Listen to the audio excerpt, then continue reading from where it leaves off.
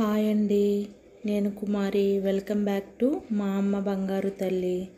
ఇవాళ ఎంతో రుచిగా ఉండే?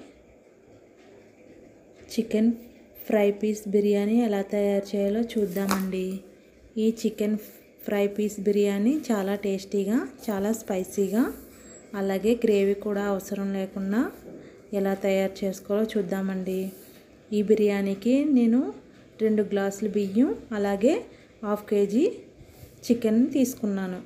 మనం ఎలా తయారు చేసుకోవాలో చూద్దామండి. ముందుగా గిన్నె పెట్టుకుని హాఫ్ కప్పు ఆయిల్ వేసుకుందాం. ఈ ఆయిల్ మరిగాక దాల్చిన చెక్క లావ మొగ్గలు అలాగే జీలకర్ర బిర్యానీ ఆకు కూడా వేసుకుని బాగా వేయించుకుందాం. ఇవన్నీ వేగాక ఇందులో సన్నగా కట్ చేసిన కొత్తిమీర పుదీనా కూడా వేసుకుని బాగా వేయించుకోవాలి.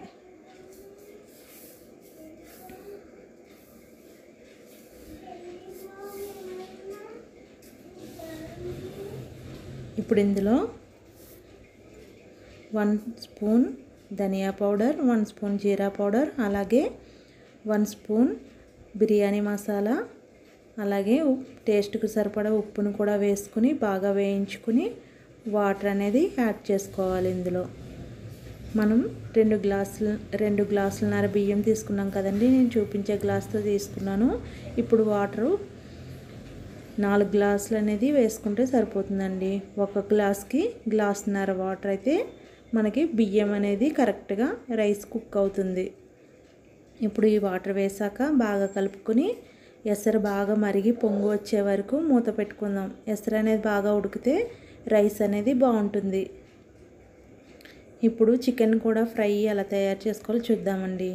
ముందుగా గిన్నె పెట్టుకుని ఆయిల్ వేసుకుందాం. ఒక హాఫ్ కప్పు ఆయిల్ అయితే సరిపోతుంది. ఇప్పుడు ఆయిల్ మరిగింది కదండి. ఇందులో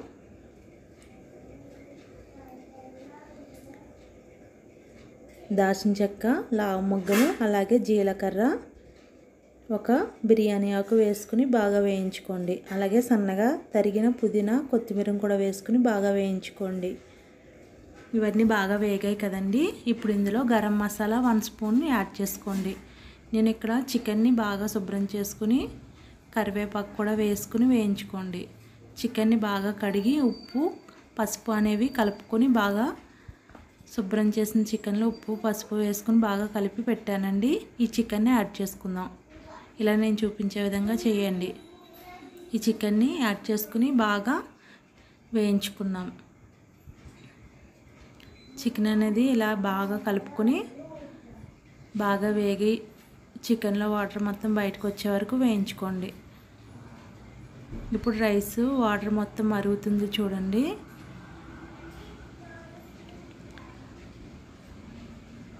మూత తీసి చూద్దామండి. వాటర్ మొత్తం మరిగింది కదండి. నేను ఇంట్లో ఉండే బియ్యాన్నే తీసుకున్నాను. మీకు నచ్చితే ఈ బియ్యం వాడుకోండి. లేదంటే బాస్మతి రైస్తో కూడా ఈ chicken fry piece biryani ready చేసుకోవచ్చు. బియ్యాన్ని ముందుగానే కడిగి ఒక గంట ముందు కడిగి నానబెట్టుకున్నాను. ఆ బియ్యాన్ని వాటర్ అనేవి మరిగినాయి కదండి యాడ్ చేసుకుని బాగా కలుపుకుని మూత పెట్టుకుందాం. ఇప్పుడు చికెన్ కూడా వాటర్ మొత్తం బయటకు వచ్చిందండి. ఈ వాటర్ మొత్తం బాయిల్ అయిపోయి చికెన్ డ్రైగా అయ్యే వరకు వేయించుకుందాం. చికెన్లో ఆయిల్ మొత్తం బయటకు వచ్చే వరకు వేయించుకుంటే సరిపోతుంది. చికెన్లో వాటర్ మొత్తం బాయిల్ అయిపోయింది కదండి. ఆయిల్ అనేది చూడండి బయటకు వచ్చింది కదా. ఇప్పుడు ఇందులో వన్ స్పూన్ గరం మసాలా అలాగే స్పూనున్నర కారం వేసుకుని బాగా కలుపుకోండి. ఇలా నేను చూపించే విధంగా వేసుకుని బాగా కలిపి ఫ్రై చేసుకోండి. ఇలా ఫ్రై అయినాక ఇందులో మనం పావు టీ స్పూన్ లెమన్ అనేది పిండుకుంటే చికెన్ అనేది టేస్టీగా ఉంటుంది. లెమన్ పిండుకుని బాగా కలుపుకొని చికెన్ని బాగా వేగనిద్దాం. ఇంతలో ఒక పది నిమిషాలు మూట పెట్టుకుందాం. పక్కన రైస్ అనేది కుక్ అవుతూ ఉంది. దాన్ని చూద్దాం ఒకసారి. పైన ఆయిల్ అనేది తేరుతుంది కదండి. ఒకసారి వాటర్ మొత్తం అయిపోతుంది కదా కలుపుకొని మనం బాగా కలిపి ఒకసారి మూత పెట్టుకున్నాం అనుకోండి రైస్ అనేది బాగా బాయిల్ అవుతుంది.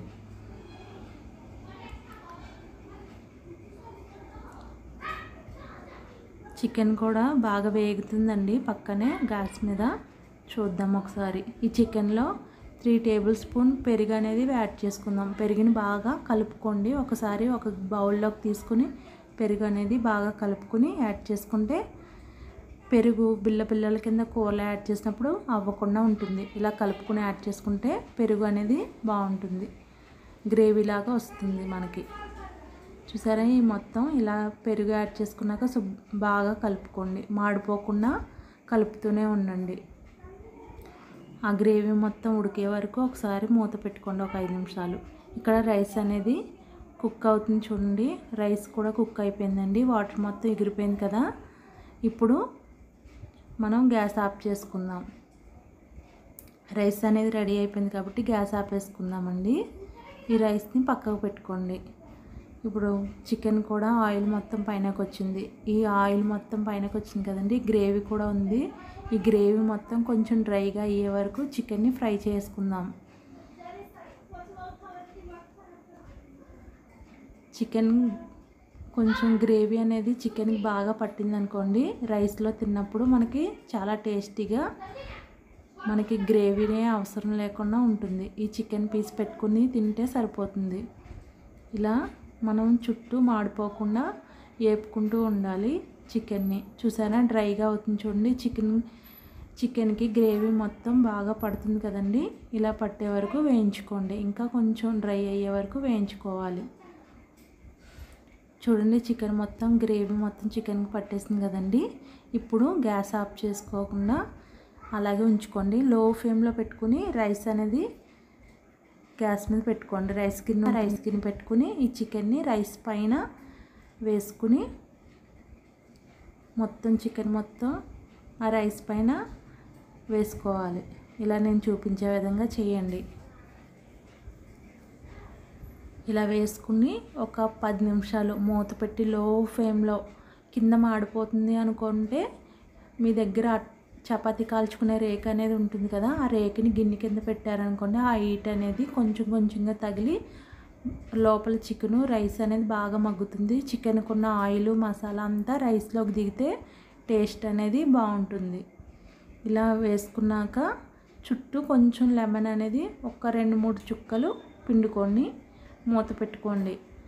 ఇలా పది నిమిషాలు మూత పెట్టి ఉంచామనుకోండి చికెన్ మాత్రం బాగా మగ్గుతుంది. రైస్ కూడా ఫ్లేవర్ అనేది తెలుస్తుంది. అంతేనండి ఎంతో టేస్టీగా ఉండే chicken fry piece biryani ready అయిందండి. ఇలా మూత పెట్టుకొని ఒక ఐదు నిమిషాలు ఉంచుకుందాం గ్యాస్ ఆపేసాక అప్పుడు మూత తీసుకుని ప్లేట్లోకి సర్వ్ చేసుకుందాం. చూసారా? ఇలా ఆయిల్ మొత్తం చూడండి రైస్లోకి ఎలా దిగిందో. ఇప్పుడు ప్లేట్లోకి సర్వ్ చేసుకుని తింటే చికెన్ ఫ్రై పీస్ బిర్యానీ చాలా చాలా టేస్టీగా మనకి రోజు చేసుకుని తినాలనిపించేలా ఉంటుంది.